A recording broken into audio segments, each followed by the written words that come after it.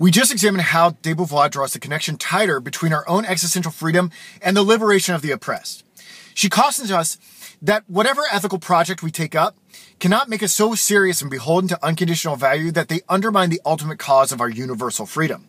So if my dedication to saving the whales becomes so dogmatic that it somehow subverts the larger end of liberation for all, then I am no different than others who live by unconditional value. My values have to be flexible. Value is something to be contextualized, prioritized, and integrated within a larger movement. This means that how the proletariat deals with this oppressive situation will be particularized to his economy, country, and personal moral endeavors. There won't be a universal form of struggle as modern Marxists claim. This line of thinking within de Beauvoir is troubling me.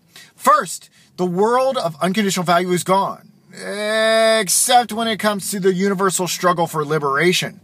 Everyone's projects ought to be integrated in such a way towards that end. That sounds like absolutist talk, not the speak we would anticipate from someone who sees all value as conditional. Has de Beauvoir contradicted herself?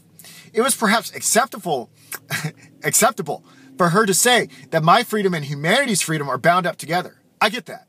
The freer people are, the more spontaneity and opportunity to disclose ourselves.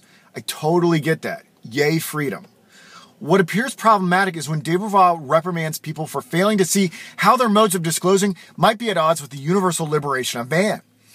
I have less of a problem with this if de Beauvoir can connect how one person's ethical project, i.e., saving the whales, oppresses someone else and creates a feedback loop of limited opportunity to disclose.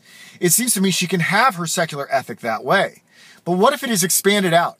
What if she says that our ethical programs limited the opportunities to disclose of our children's, children's, children's, children? Why do I need to care about this cause of liberty long after I die? Why does how I disclose matter less than this cause I'm serving? Has de become a slave to unconditional value?